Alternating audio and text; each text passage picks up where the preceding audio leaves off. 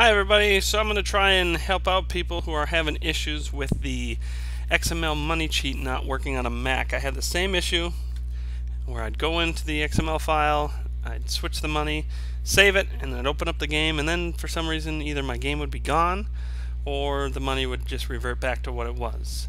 So here's what I found when I was doing it. So hopefully everybody watching this knows where this folder is by now. I think it's, I can't even remember where it is. I gotta shortcut saved on my desktop.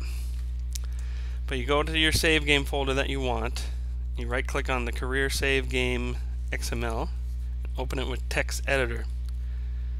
So then what happens is you open up this and you'll find your money. Where the heck is money in here? Here it is right here. Right now I got a whole bunch of money because I've already done this. But So what's happening is, let me add like a 1 to this. Okay, so now take a look right next to the 1 right here, that quotation mark, when I added that one in there, it switched from this kind of quotation mark to this one. For some reason, this one breaks this file, and then it just won't work. So what you got to do is after you do that, I'm going to take that one out now just to see if it goes back. It doesn't go back. So what you got to do is take this quotation mark, copy it, and then paste it right back over that, and then save.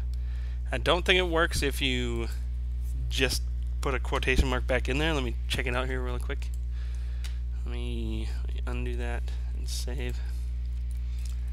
We'll do it again and we'll just see if, oops, see if that works. Okay, so we'll put a 1 in front of here and watch right next to the 1 that quotation mark's going to change. See it change to a like a left facing, right facing quotation mark. So if I wanted to change it, I would go like this and then put the quotation mark and as soon as I do it it goes back to the other one. So what you got to do is you definitely have to copy this copy one of the quotation marks somewhere else and paste it there. And then it'll stay the same. Hit save and you should be good. Let me prove it to you here. I'm to switch this to 8008135 and that switched again.